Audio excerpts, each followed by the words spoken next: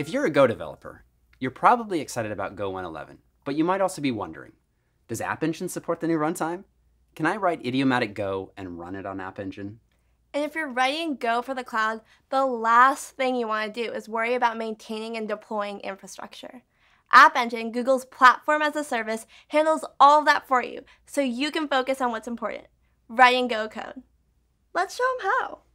We're going to show you how to deploy a Go application to App Engine using the new Go 111 runtime. Now with the new Go 111 runtime, it's incredibly easy to write idiomatic Go code and deploy it to App Engine. All you need are three things. Your Go code, a YAML file that describes your runtime, and a vendor directory with your dependencies. Let's take a look at each one.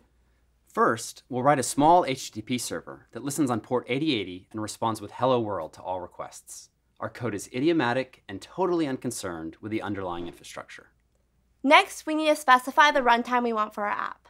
So in the root of our project, add an app YAML file with just one line in it, go 111. And finally, here's our file structure with a vendor directory. We're using Go support for vendoring our dependencies, which the new runtime supports out of the box. Also, if you're interested in trying out Go support for modules, the runtime supports that as well. Now that we've finished writing our app, let's deploy it. It takes only one command, gcloud app deploy. Let's start a timer.